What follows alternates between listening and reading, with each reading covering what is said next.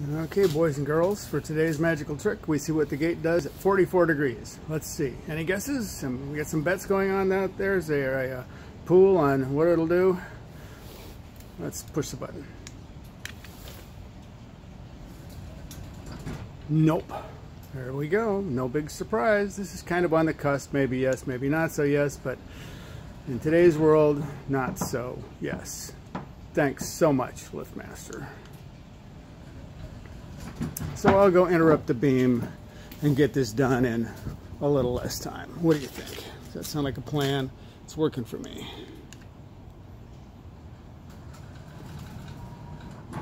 Interrupting the close eyes beam should have zero effect on the appropriate logic. But apparently, LiftMaster's not a big fan of logic.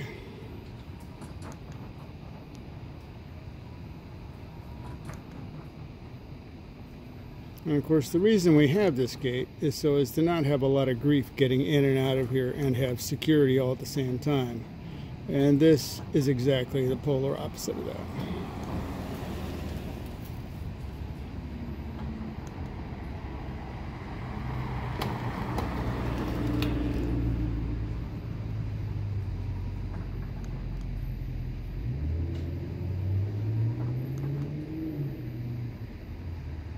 Positively ridiculous. So much fun.